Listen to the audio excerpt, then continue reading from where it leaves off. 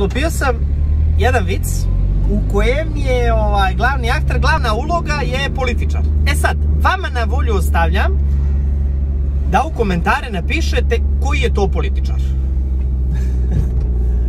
Ovako. Vozi se političar i doživi saobraćajnu nezgodu. Znači doživi udes težak, baš bude kritično i spasu ga tri momka. Tri momka od kojih je jedan cigo. I sad ovaj, političar, uticajan, može da završi mnogo. Kaže momci, za uzvrat, samo recite što želite, ja ću da stvorim. Ovaj momak jedan gleda, kaže, ja bi, ja bi jednoga BMW-a novoga, može li? Kaže, može nikakav problem, kupi se BMW. Ovaj drugi kaže, ti? A ja bi veli, postanar sam, ja najvolio jednu kuću dobru da mi kupiš, nikakav problem, kupuje se kuća.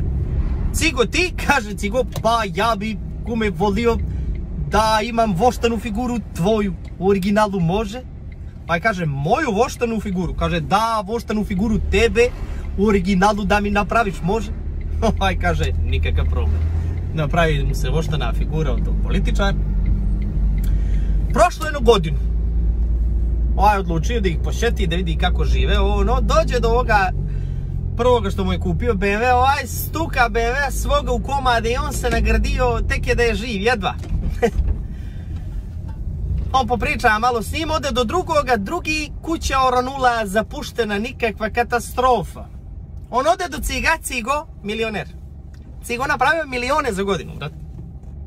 ga gleda, kaže Cigo, svaka čast, možeš samo da mi kažeš kako, na koji način, kaže, ako mi iskoristio samo tvoju voštanu figuru, brat.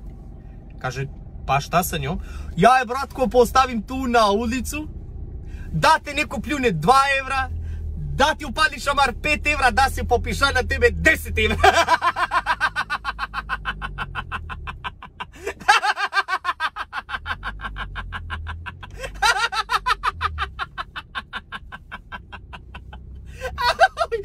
Napišite mi ko je političar. Na kojega mi se najviše zaradilo.